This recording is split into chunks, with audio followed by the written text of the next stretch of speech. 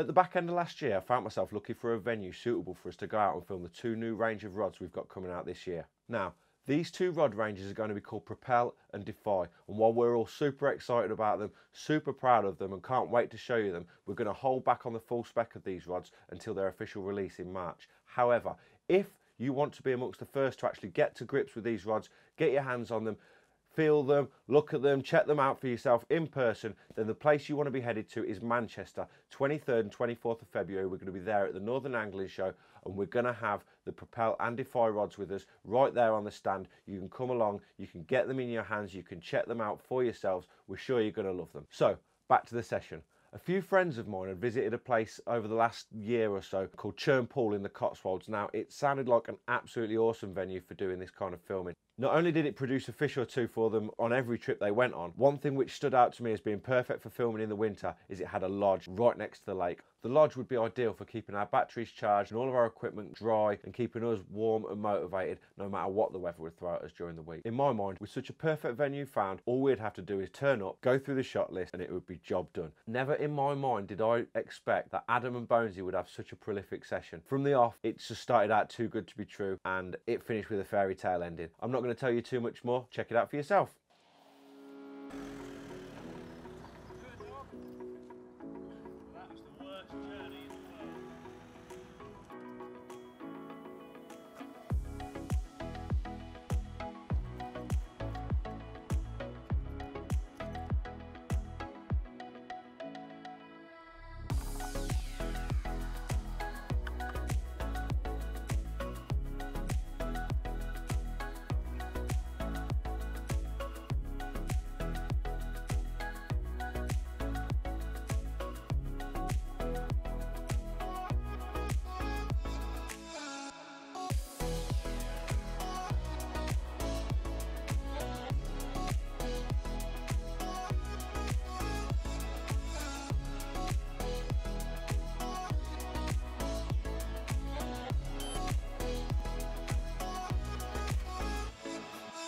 Well, that's all three rods fishing and uh, it's my first carp session of 2019.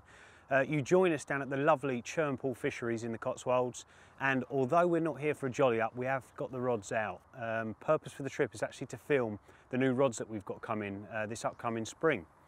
It's myself fishing and Chris Bones Holmes and we've got Gaz and Shuzy on the camera. We've even got the dogs here, Elvis and Wilson, and we are going to do our very best over the next couple of three nights to catch a fish. But as I said, we are here to film the rods, so this is really just a sideline and a bit of a bonus. Um, but yeah, we're going to do our best. Some really lovely carp in here. I mean, this area in particular holds some really, really good looking fish. So they're out in position. Um, a monumental journey to get here this morning. It actually took me seven hours. That M25 is the bane of my life. But I'm here, I've got three rods fishing. I'm going to wander up now and uh, check Bonesy's all right and then sit down and, and hopefully we can bring you a fish tonight.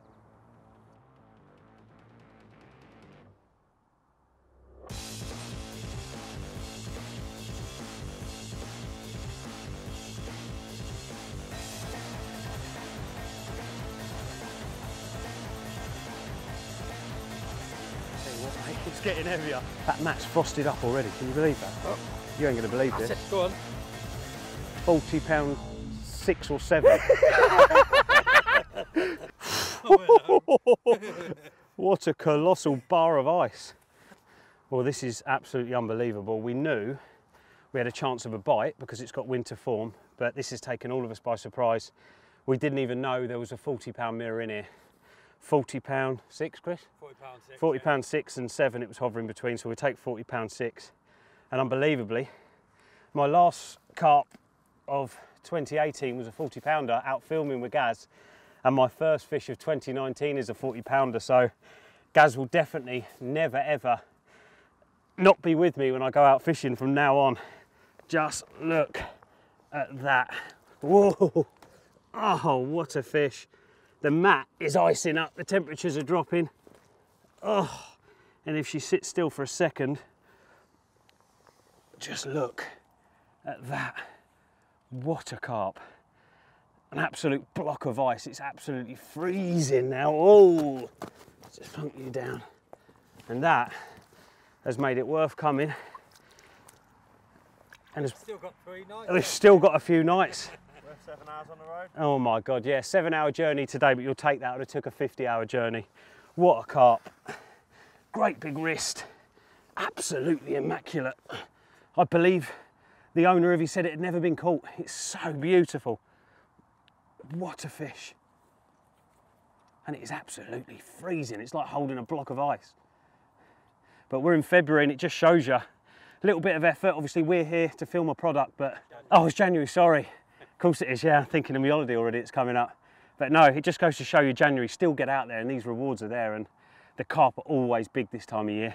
If you get it right, get your approach right, you can catch some absolute belters like this, or you can fluke them out like I just have. What a carp.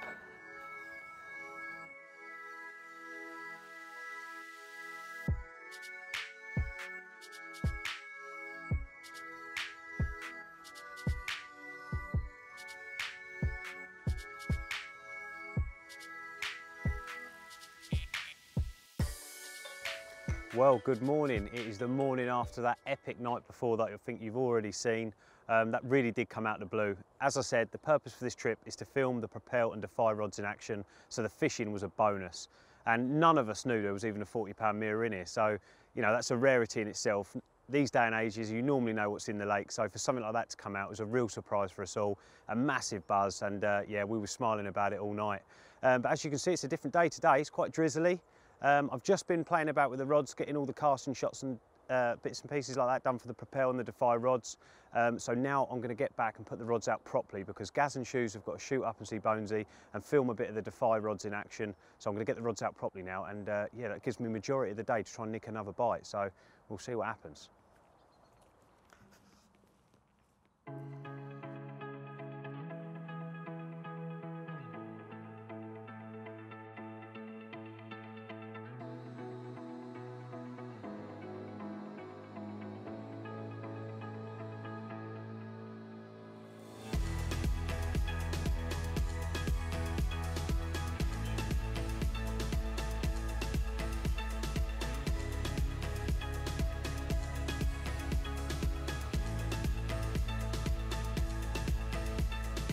Well, as you can see, the propels have been brought back into action again. We said it looked good for a bite, and I've had to scramble for the mobile phone and drag the old camera boys back down because we've had an absolute banger.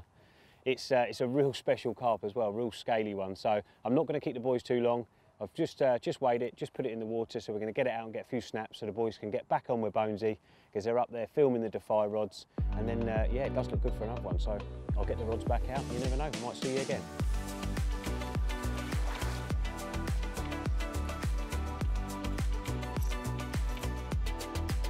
I said it was a looker, and I wasn't wrong, was I? That is just the most classic example of a Cotswold carp. Truly stunning, great big scales. That really is a magnificent fish, and I'm over the moon with that. The 40 pounder was amazing, and it's just been made even better now with this absolutely clonking Cotswold mirror. What a fish. I'm going to slip that back. I won't keep the boys here too long. As I said, they've got plenty of filming to do with Bonesy and hopefully it'll be uh, his alarm that rattles off next time and he can hold up one of these beautiful carp. So you find me down the other end of the lake to Adam. Adam's had a great start to the session. He's had that 40 pounder, which was an absolutely mega fish, and he's had that scaly one. Me, I've had two mega bream. Um, we are, it is quite known in the lake that the fish tend to be either end. We did say that if one starts catching a lot and one doesn't, then we'll, we'll fish together because that's what it's about. Um, but I'm down here and I've got the Defy rods out. I'm using the three pound, 12 foot Defy rod. And for this water, it is absolutely flawless. It's casting the bags out that I'm using. I'm using long stocking bags with a two and a half ounce inline lead. They're casting these rigs out flawlessly. We're about three and a half, four ounces, and I'm having no problems getting to 75, 80 yards. With one of my spots, what I'm going to do is I'm going to spot out a little bit of bait. Now I've got the 12 foot Defy spod rod with me. And again, this rod is so well suited to something of this sort of range, 75, 80 yards. It's just flawless. It's dead accurate. It compresses really well. So I'm going to get a few more maggots out and hopefully those bream are going to turn into some scaly, scaly bangers.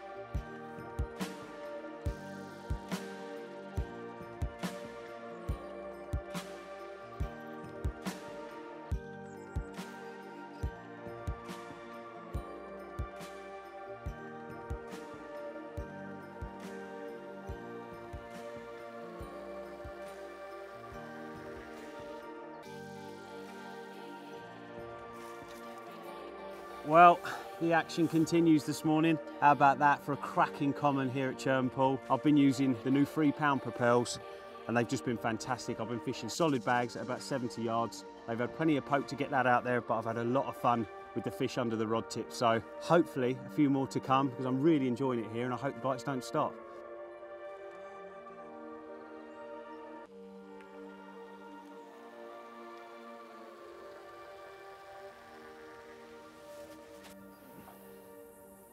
Well, it's uh, we're just going into that last night.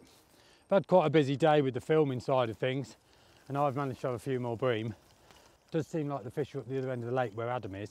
It's difficult when you get to this point. You know, I've been fishing for two nights. Adam's had a couple of fish each day, and I've had a lot of bream. I've had eight big bream now. I'm not going to complain. It's nice the, to get a bite at this time of year. It's not the right species, no. I'm a big fan of fishing, and well, if I was sat in my matchbox, I'd be absolutely buzzing catching bream like that. But unfortunately, I'm not. We're sat here trying to catch carp. It was well known that this lake, the carp tend to be either end. They're more dominantly down here apparently, but it seems the wind when we arrived was pushing up that end. They've obviously moved with the wind and they're sat up there. Will they come back down? Who knows? Only a bit of time will tell. So I'm going to get a little bit more bait out now. I'm going to sit back, relax with the boys and maybe have a little bit of fish and chips. And hopefully I'll be back in front of the camera with a carp.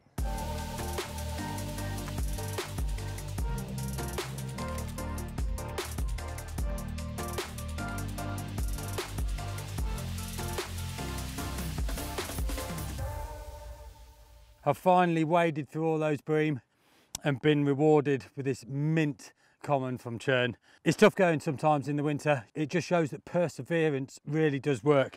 This rattled off about 10 minutes ago from the baited spot that you saw me baiting up earlier. I persisted with that spot for two nights. I've been catching bream off it and finally I've been rewarded with a lovely, lovely January common. I'm absolutely stoked. So the rod's been dispatched back to the same spot topped up with a few more spods of bait, a little bit of crumb boilie and some maggot, and hopefully there'll be another one of these to come.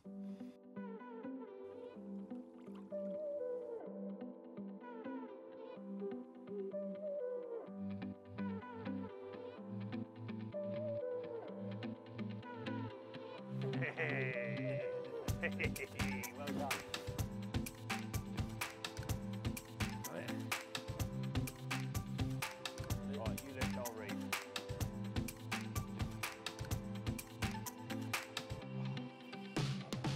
I say it's bang on 30 pounds. Is it? yeah. Happy days. Well done. what a way to finish. Happy days. Chunky. Last night I've had that common off the baited spot and then about half an hour ago it's rattled off again and I've got this lovely bang on 30 pound mirror to show for my efforts wading through those bream. The Defy rod, well I don't know what to say really, this, this fish really put up a big fight last night and several times I thought it was ready for the net. And luckily with that lovely tip action in it it really absorbed the lunges where my clutch was tight ready to get it in there. And eventually she gave up. In it went. And whoa i'm absolutely buzzing to have a fish like this in january. I mean this has been a hell of a session it had. It's been mega. I'll just jump in. i mean look at that What a way to finish, 30 pounder. And I was just sitting there, I was just chatting with shoes. I said, that's high doubles, 20s, 30s, and a 40. We're in January. i know you'd be happy with that in spring wouldn't you I was thinking that you would be happy with that in the spring, but it just goes to show you, get out there in the winter because you can have sessions, you know, that you'd like you say you'd be happy with in the spring or summer. You know, we'll remember this for a long time, and it's bitterly cold. I think it's only about three or four degrees this morning. yeah Um, everything's frozen up last night. what a Um, way to test the rods as well you've been on the propels i've been on the defies and I've we on the- put them through a bit of action in january haven't we Well, it's been great. It's been great. I've been using the, like I say, I've been using the propels, been fishing that long range spot or longish range spot for this pool, 70 yards, and uh, yeah, they've been they've been an absolute joy to use. So yeah, look forward to uh, flexing. to our next again. one yeah yeah. Well done, mate. Lovely cheers mate cheers yeah a deep mark boom baby